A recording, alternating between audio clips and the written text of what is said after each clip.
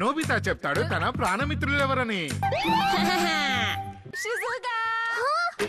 రెండు ఇంకా మూడు స్థానాల్లో ఉన్నారు.